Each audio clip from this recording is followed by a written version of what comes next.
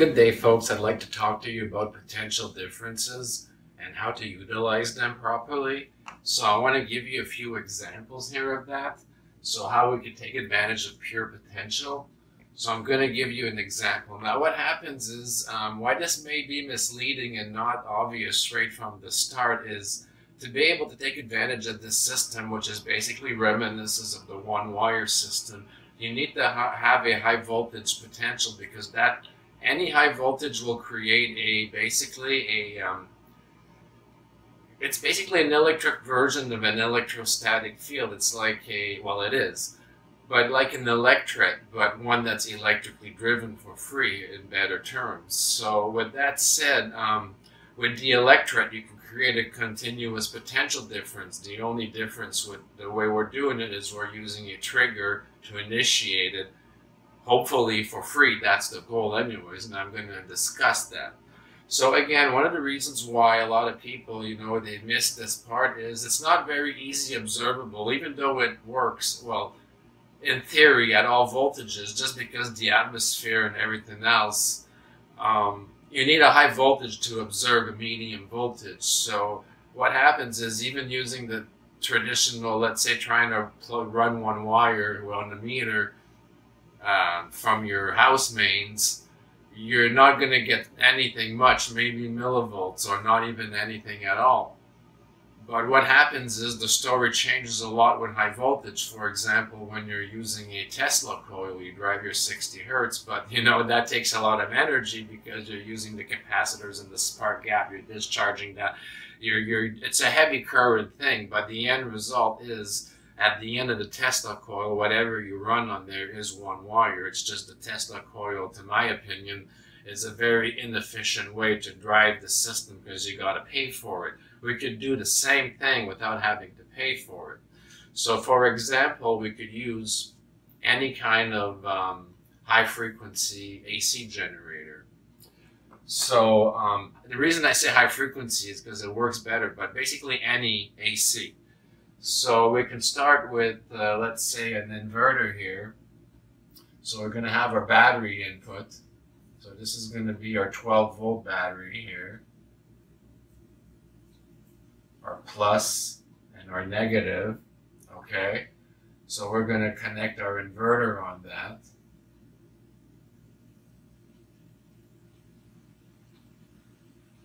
So this is just going to be a trigger. So we're going to say a very small inverter, 25 watts.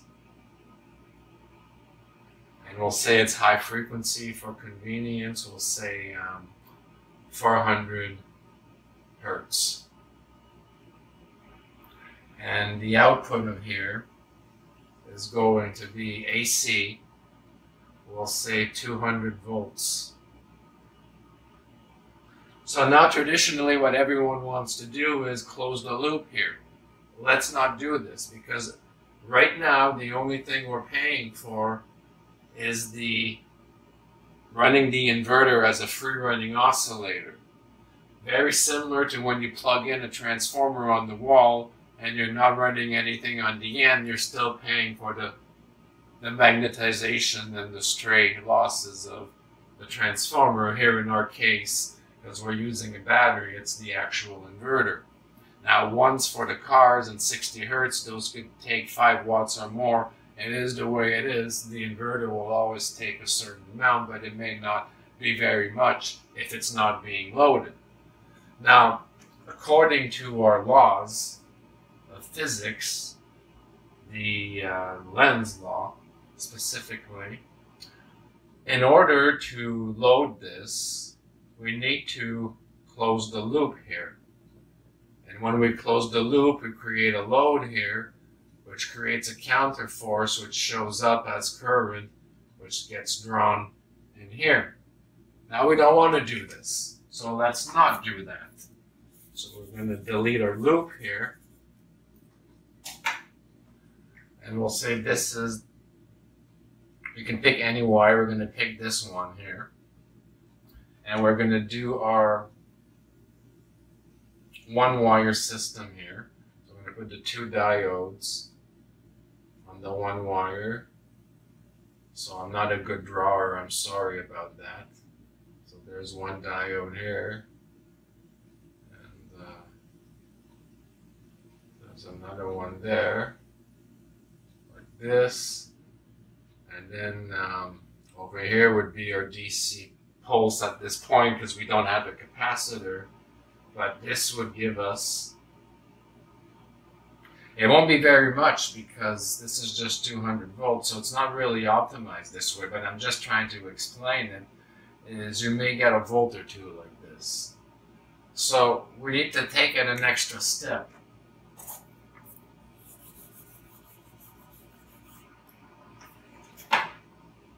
So let's run the microwave transformer on this. So here's our microwave transformer right here.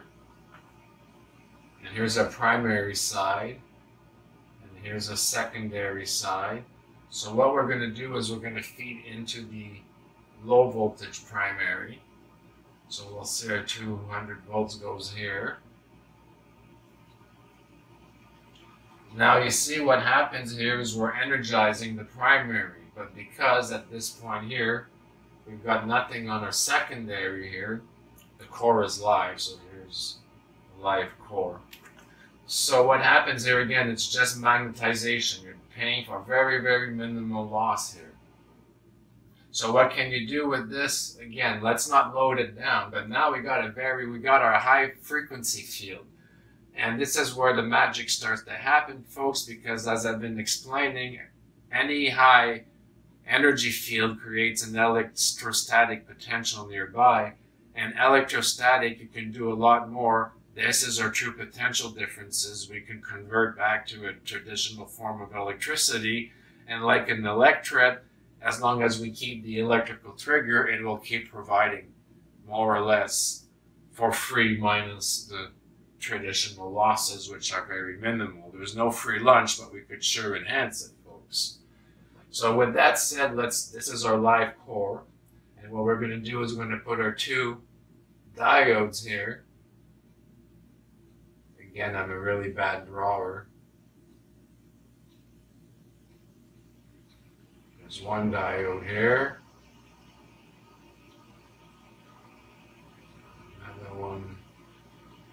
Sort of. So this becomes plus, this becomes negative here.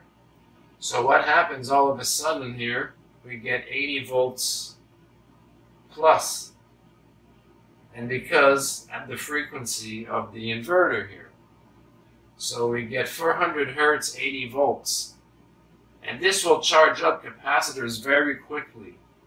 And you could use this to either run pulse or with a filter or cap dump it back into the battery here.